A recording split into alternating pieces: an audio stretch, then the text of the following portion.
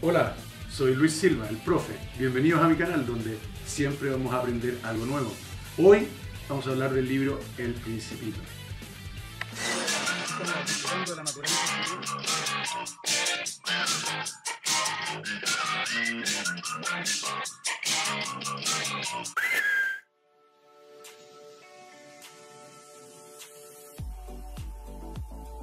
Bueno, antes de entrar al contenido del libro, quería contarles muy brevemente algo sobre su autor, Antoine de Saint-Exupéry, que, que murió con 44 años en Estados Unidos.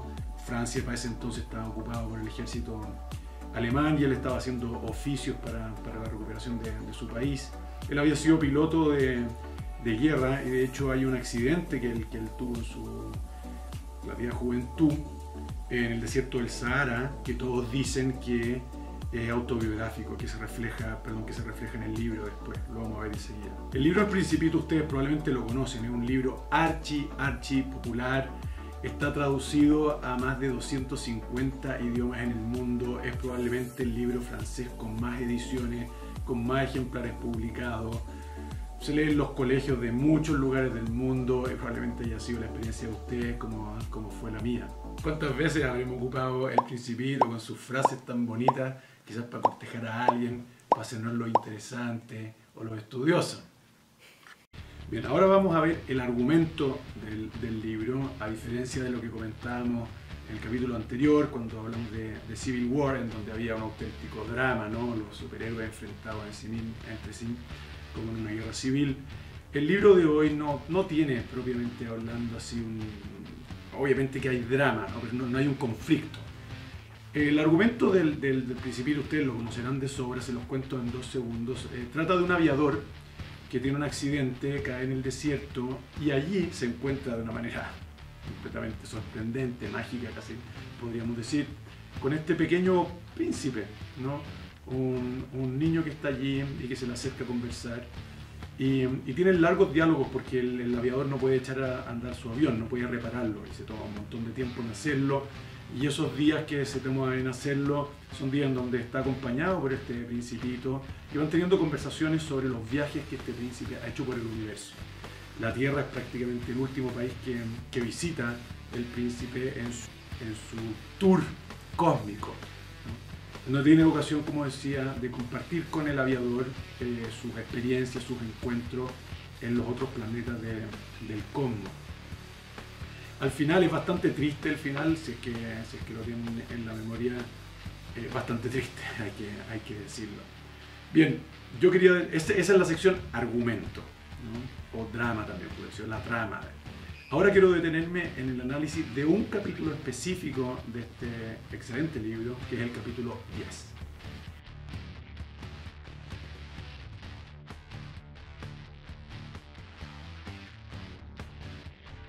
El capítulo 10, que es el capítulo que, que, en el que voy a detenerme en este episodio sobre el principito, es un capítulo que a mí siempre me, ha parecido particularmente interesante como profesor de, Derecho Constitucional y de hecho es un capítulo que, que se lee en, en, mi curso desde hace muchos años, siempre en la primera clase. El capítulo 10 trata del encuentro del principito que va recorriendo distintos planetas, distintos asteroides, con un rey que gobierna sobre un planeta. La peculiaridad de este planeta es que el rey está solo, el rey no tiene súbditos.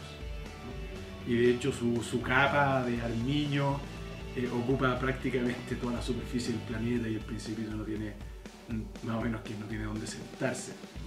Pero bueno, el principito llega allí, como él tiene este, eh, facilidad de, de, de trato, inicia inmediatamente un diálogo con el rey. Y el principito llega al planeta de este rey y el rey inmediatamente le da una orden, ¿no? Él le dice que no puede bostezar, porque el principito está con un poco de sueño. Entonces el principito le dice, bueno, que no, no puedo evitarlo, y entonces el rey le dice, bueno, te ordeno que no que te ordeno que, te ordeno que bosteces, ¿no? Pero el principito ya no tiene ganas de bostezar.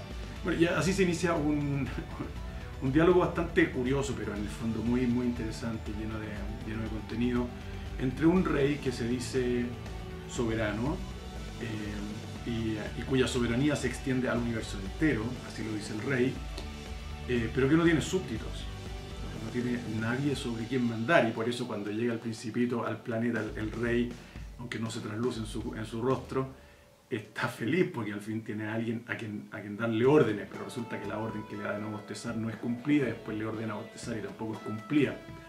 El principito se entusiasma con este rey tan poderoso y le pide que por favor eh, ordene que haya una puesta de sol.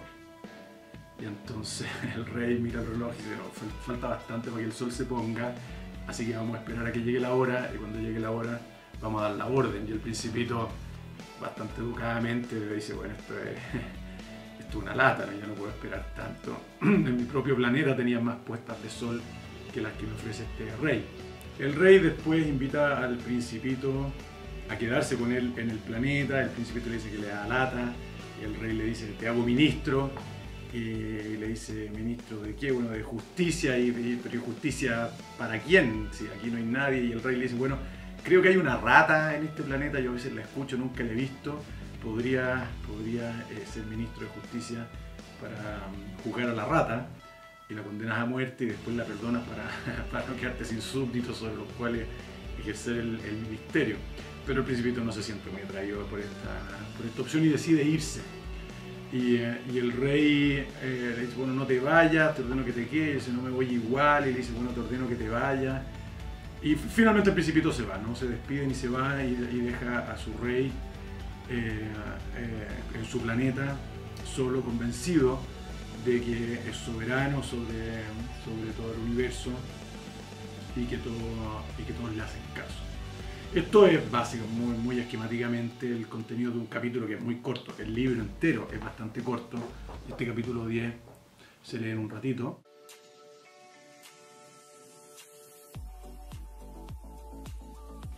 Bueno, ¿y por qué escogí el capítulo 10? de, todos los capítulos que tiene, que tiene varios en el libro, ¿por qué escogí el número 10 para comentarlo con usted en, esta, en este episodio del, canal del profesor? Básicamente porque es un capítulo que contiene eh, material para reflexionar sobre algunos problemas políticos eh, en profundidad. Aunque en la superficie no lo parezca y bueno, como, como, como, se dice del libro, parece un cuento para niños, eh, este capítulo también, pero sin embargo sabemos, son, es un libro con, mucho contenido. Eso es lo que me interesa y esa es la sección que quiero abordar ahora. Algunas reflexiones a partir del capítulo 10 del Principito sobre derecho constitucional, político, y vamos a ver que tiene una bajada muy, muy contingente a la situación del Chile hoy con convención constituyente en marcha. Pero quizás algunos se esté preguntando qué, qué le pasó al profe, me parece que hay mucha campaña política afectó el mate, ¿por qué está mezclando el Principito, este cuento aparentemente para niños, con materias tan importantes como la Convención Constituyente en Chile, el derecho político, el derecho constitucional. Bueno, eso es lo que quiero mostrarles en esta sección que vamos a, entrar ahora, ¿no? la de las reflexiones, llamémoslo así, que así también la titulamos en la clase, eh, en el episodio anterior sobre Civil War. Bien, aquí hay, aquí hay tres, tres, tres precisiones eh, que yo querría hacer. La, primera es sobre el concepto de soberanía. El, rey se define soberano y define su soberanía como una soberanía universal. Cuando el principito le dice, le pregunta sobre qué gobiernas, el rey responde, yo gobierno sobre todo. Y sin embargo, el rey es incapaz de mm, producir una puesta de sol, es incapaz de impedir que el principito bostece cuando le ordena no bostezar, incapaz de hacer que el principito bostece cuando le ordena bostezar.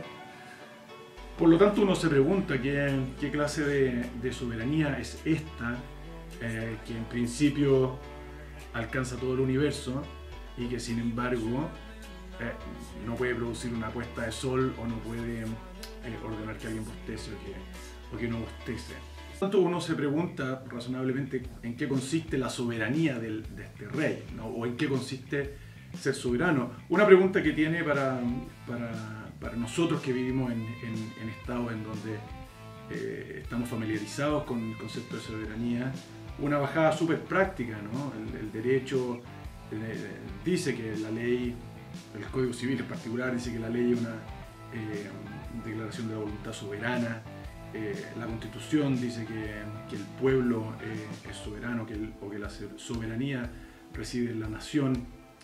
Eh, estamos familiarizados, rodeados ¿no? Eh, por este concepto de, soberanía. Y, y, por lo tanto, la reflexión que hacemos a partir de la soberanía del rey es útil para comprender también algo de la noción de soberanía a la que estamos acostumbrados, por los ejemplos que, que yo le decía. La primera, y aquí la, cuestión es que la, pretendida soberanía del rey es como la soberanía de la nación a la que se refiere la eh, constitución o, a, la voluntad, a la declaración de la voluntad soberana a la que se refiere el Código Civil limitada. La soberanía del rey del principito es extremadamente limitada, también lo es la soberanía de la nación. Se supone, se supone que la noción de soberanía, remite a un poder absoluto. El soberano es absoluto, tiene un poder absoluto. Eh, y de hecho, así es como se caracteriza a los reyes absolutos, eh, eh, a los reyes que eran soberanos, ¿no? como reyes con un poder absoluto. Y sin embargo, ese, carácter supuestamente absoluto del poder soberano es tremendamente relativo, tremendamente acotado. No quiero entrar en la lata de por qué la soberanía que reside en la nación o la declaración de la voluntad soberana que se expresa a través de la ley está llena de limitaciones, pero de hecho lo está. ¿no? Y quizás pongamos algún ejemplo un poquito más adelante en este, en este episodio. Pero lo primero que quería decir es que el, el, el, rey que está solo en su, en su país, convencido de que es soberano sobre el universo y que demuestra en la práctica no tener poder alguno, es una buena ilustración de lo limitado que es eh, un poder supuestamente absoluto como el poder soberano. Y aquí enganchamos con una segunda cuestión que explica mejor lo que estábamos diciendo, que es la necesidad de fundar la autoridad o la soberanía, en este caso es lo mismo, en la razón. Aquí el, rey le da una, una explicación al principito para justificarse de que a veces sus órdenes no se cumplan, ¿no? Como la de la puesta de sol o la del bostezo.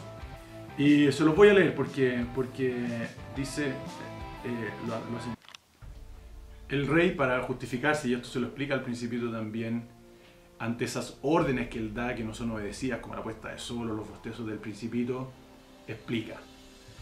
Si ordeno a un general que se transforme en ave marina, y si el general desobedece, no sería por culpa del general, sería mi culpa. El principito obviamente está de acuerdo con esta afirmación. O sea, usted le ordenan transformarse en ave marina y un general de ejército, el general de ejército no se transforma en ave marina, no es por culpa del general, sino por culpa de quien da la orden. Y dice el rey, las órdenes siempre tienen que ser razonables para ser obedecidas. Y esta es eh, eh, eh, la razón por la que decía que esta segunda reflexión complementa la primera sobre las limitaciones del poder soberano, porque un poder soberano que no está fundado en la razón finalmente no puede ser obedecido. Eh, aunque haya voluntad, ¿no? obviamente que aquí hay un margen de zonas grises muy ancho, muy ancho, pero el mismo rey dice, si yo le ordenara a toda mi gente lanzarse al mar, lo que tendría es una revolución. La gente antes que lanzarse al mar se vuelve contra el rey y lo desarma. Y de hecho la historia está plagada de ejemplos como esto. Es muy interesante esta dependencia de, la efectividad del poder a, la razón como fundamento del poder. Y esto es uno de los límites, yo lo llamaría un, límite intrínseco del, del, poder soberano, un poder, o el ejercicio de un poder que no se ajusta a la razón, es un poder condenado a ser desobedecido, en definitiva, un poder condenado a ser estéril, completamente estéril. Y esto es lo que nos prueba el, rey. ¿no? El rey se da cuenta, tiene perfectamente claro esto y por eso no ordena la puesta de sol, sino que le dice al principito, mira, espérate a que llegue la hora para yo poder ofrecerte la puesta de sol. Obviamente que al final esto no es una orden del rey, sino un fenómeno natural que el rey quiere disfrazar como una orden, como una orden suya. El principito no es tonto y se, y se da cuenta está jugando eh, el libro con nosotros, pero nos muestra una realidad muy profunda acerca del ejercicio del, poder político. ¿no? Y de hecho esto es una cuestión que debaten los filósofos del derecho con mucha, con mucha intensidad, con mucho acaloramiento, con mucha pasión. El contenido racional de las órdenes como condición para ser obedecidas. Obviamente me refiero a, que los filósofos debaten sobre la relación entre la autoridad y la razón, no, no debaten sobre el principito, por lo menos no los de, de, derecho. A la segunda reflexión decía que aquí lo que, lo que el rey nos enseña, lo que aprende el principito, es que la autoridad tiene que estar basada en la razón. Una autoridad que no, no se basa en la razón está prácticamente condenada a la esterilidad. Y aquí pasamos a una, a una tercera reflexión, que es la que espontáneamente uno se hace cuando, cuando conoce al personaje del rey, que es decir, ¿cómo puede gobernar si no tiene súbditos? ¿Cómo, cómo puede ser rey si no tiene vasallos? ¿Sobre quién gobierna? ¿Sobre quién ejerce la autoridad? Y la respuesta es sobre nadie, el planeta está vacío, no, sabemos si, si, la rata de la que habla el rey realmente existe o es una invención de su imaginación. Y por lo tanto uno dice, bueno, si no hay nadie sobre quien gobierne, ¿realmente el rey gobierna? Si no hay nadie sobre quien ejercer la autoridad, ¿hay ejercicio de la autoridad? Esta es una cuestión bien, bien interesante, que es que para que haya autoridad, ejercicio de la autoridad, debe haber sociedad. Es decir, un, grupo organizado de, personas que, persiguen un, fin común y de quienes se puede esperar que obedezcan o desobedezcan una eh, norma o un acto de autoridad, o, ser sujetos de gobierno. Pero tiene que haber más de uno y esta cuestión no es, eh, aunque puede parecer obvia, no se puede pasar por alto como si, como si lo fuera. Porque al final eh, la autoridad, el ejercicio de la autoridad se corresponde o está complementado por la obediencia. No, hay autoridad, no puede haber autoridad si no hay obediencia. Alguien que dice que gobierna y no gobierna a nadie, no gobierna en verdad. Y esta cuestión es interesante, da lo mismo si tu planeta está vacío o tú en tu planeta que está lleno no eres nadie para el resto. Si yo me pusiera a dar órdenes aunque estoy rodeado de gente, probablemente probaría que no tengo poder alguno, no tengo autoridad alguna, porque nadie me obedece. Y da lo mismo si estoy sentado acá en mi, eh, en mi casa o estoy sentado en la moneda, ¿no? porque si en la moneda tampoco, si desde la moneda tampoco nadie me obedece, realmente puede decirse que tengo poder, puede decirse que tengo autoridad, puede decirse que estoy gobernando y esta es la, tercera reflexión, decía, ¿no? la, necesidad de que la autoridad esté complementada con la obediencia, lo cual obviamente supone alguien que manda y alguien que obedece, ¿no? una, una sociedad. Y de hecho nosotros hemos tenido en Chile una experiencia bastante reciente de lo que estoy diciendo, que es, bueno, este, todo lo que vimos a partir de octubre del 2019 y esos, meses tan, tan, tan intensos hasta, hasta marzo del 2020 en donde eh, experimentamos lo inútil que se transforma la autoridad cuando no hay obediencia. Y esto lo vimos en las calles, porque mm, carabineros, las fuerzas de orden de seguridad y seguridad, los militares, ah, trataban de poner orden y la gente simplemente no obedecía. Y inmediatamente, ¿no? espontáneamente uno dice, bueno, ¿frente a qué clase de autoridad estamos que no es obedecida? Obviamente por aquí podríamos irnos como por un tubo a, cuestiones más profundas o más polémicas también, no quiero hacerlo. Simplemente quiero invocar un ejemplo que probablemente sea muy familiar a todos los que están escuchando ahora este, este episodio, en donde pudimos comprobar, digo de piel, ¿no? si se racionaliza se puede llegar a, a, a estas y otras profundidades. Experimentamos de piel cómo la autoridad requiere ser obedecida para ser autoridad y de hecho una resistencia a la autoridad, incluso cuando se ejerce con fuerza, eh, puede terminar eh, socavando absolutamente la autoridad, hacerla perfectamente inútil. Que de alguna manera, yo no soy un experto en esto, lo que hizo Gandhi en, la India colonizada por los ingleses. La suya fue una resistencia pasiva tan intensa, tan consistente, tan persistente en el tiempo, que terminó por socavar las bases de la autoridad del poder eh, imperial inglés en la India. ¿no? Esta, esta es la tercera reflexión. Bien, esto sería el, contenido eh, del libro que hay, del, episodio de hoy, El Principito de Antoine Saint-Exupéry. Ojalá que lo lean, es bien corto, tiene dibujitos del mismo autor que están en todas, prácticamente todas las ediciones. Y quiero dejarlos invitados para el próximo episodio, en donde vamos a ver otro clásico, corto también, para que se animen a leerlo, cosa que me encantaría, obviamente, que es Rebelión en la Granja o La Granja de los Animales, ¿no? Animal Farm en inglés, escrita por George Orwell, un, socialista de tomo y lomo, bastante desencantado de la praxis ¿no? socialista, comunista, y en este libro, que es una sátira eh, salvaje al, al poder socialista, al poder comunista, vamos a encontrar estupendo material para reflexionar una vez más un poquito sobre literatura y un poquito más sobre derecho y política. Que estén muy bien, hasta la próxima.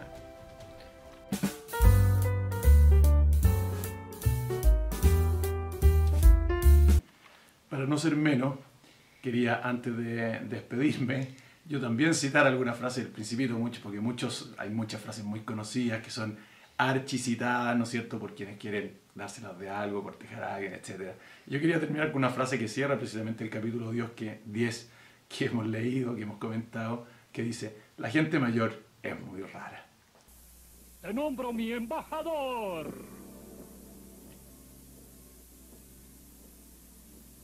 Los adultos son sumamente raros, se dijo el principito en su viaje.